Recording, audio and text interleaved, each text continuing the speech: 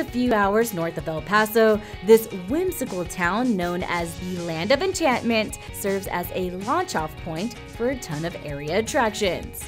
We finally made it to New Mexico and y'all, Upper Canyon Lodging Company, they hooked it up. I mean, it only makes sense to unplug and get in that rustic state of mind by staying in the proper cabin, but in this case, for us, we're staying in a treehouse.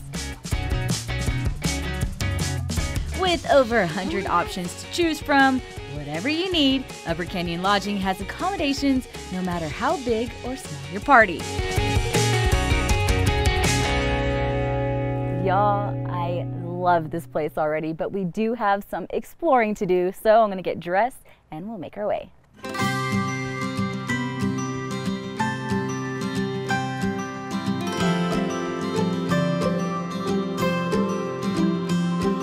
So I am in front of Inn of the Mountain Gods, New Mexico's premier casino and resort. And one of the cool things about New Mexico is the thriving Native American culture.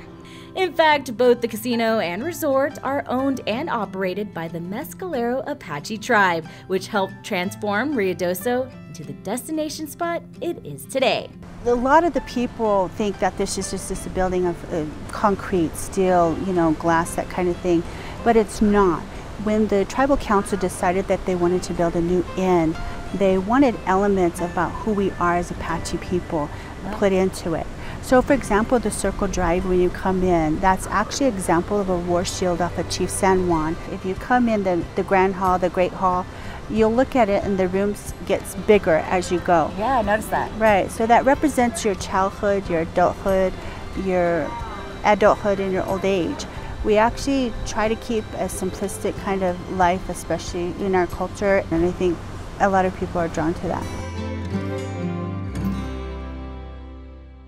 Laid back but luxurious, refined but rustic, Inn of the Mountain Gods really does have something for everyone including a casino. Well, first of all, we're the southernmost table games in New Mexico. Uh, we have all kinds of games, new versions and old versions, some favorites of people. We also have a new enclave room where they can have their favorite adult beverage in there and play their favorite slot machine. Okay, so this place is popping right now, and it seems like there's a lot of people that come in and out of this area. So how many people do y'all normally get on a regular basis? We can probably get about four to 5,000 people in on any given day, just depending on what we have going on, the seasonality of it, and about 80% of our clientele is from Texas. Really? Yes. Okay, so we come to the right place. It's their home away from home. Thank you so much. Cheers. Okay, okay, okay. I know I have an early call in the morning, but there's not a chance that I'm gonna pass up a good cocktail and some gambling. And I see Loteria. Wish me good luck. After a great introductory day of Ruidoso, it was time for me to stop while I was ahead. Woo, 73 cents, y'all. And call it a night.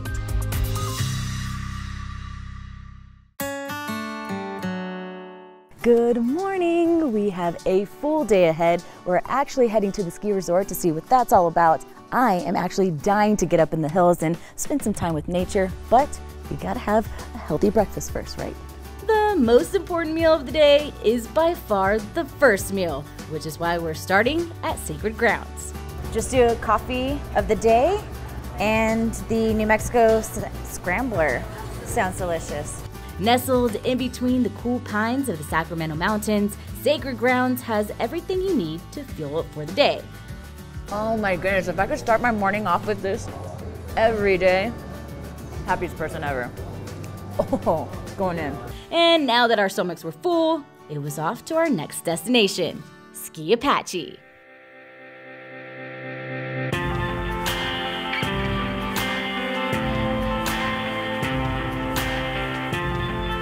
Okay, I know what you're thinking. Why are you heading to a ski resort when you can obviously tell that there's no snow on the ground? Well, it just so happens that there's plenty to do at Ski Apache, including some of the most epic zip lines in the entire world. Y'all, I'm so excited. Located near Ruidoso in the Sierra Blanca Mountains, also owned and operated by the Mescalero Apache tribe, Ski Apache Wind Rider Zip Tour has the highest starting point in the entire world.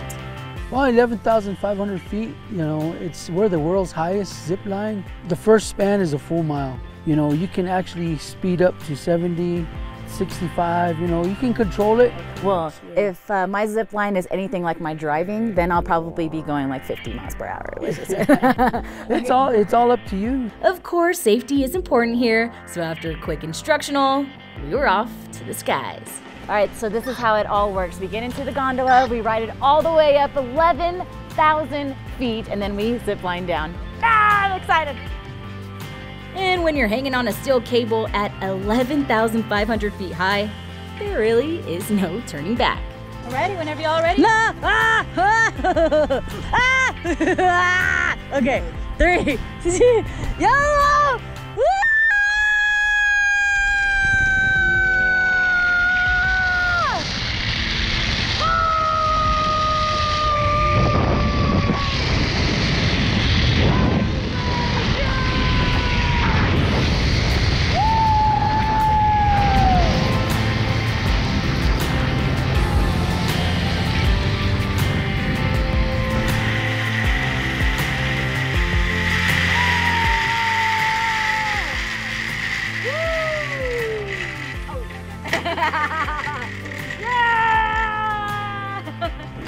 That zipped through. that was some speed right there. That was awesome. Ah!